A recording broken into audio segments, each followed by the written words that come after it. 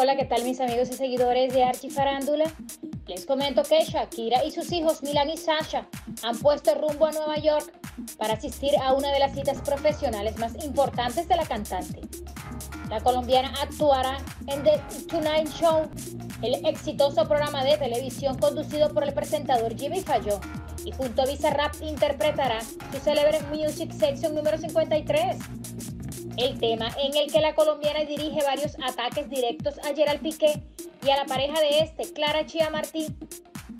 Culminará así su batalla mediática contra el exfutbolista, dedicándole en pleno directo y ante millones de espectadores el tema, que lo puso en el punto de mira.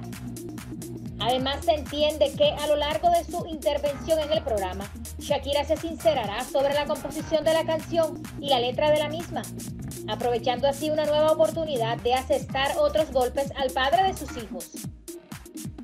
Milan y Sasha podrían observar de cerca la actuación de su madre junto a Bizarrap, teniendo en cuenta que el mayor es fan del argentino. De hecho, fue él quien propuso a su madre lanzar un tema con el famoso productor, tal y como el artista reveló en una entrevista. Recuerdo además que tengo grabado un audio de Milán en el que le manda un audio a mi manager y le dice, Jamie, tienes que hacer que mi madre por favor cante con Bizarrap. Recordó la colombiana en el programa En el punto del canal de las estrellas. En los últimos días vuelven a sonar los rumores que aseguran que la marcha de Shakira y sus hijos a Miami, donde establecerán su nueva residencia tras la separación de Piqué, es inminente. La cantante estaba esperando a que su padre se recuperara para emprender el viaje, pero parece que los médicos le han dado el visto bueno para cruzar el charco.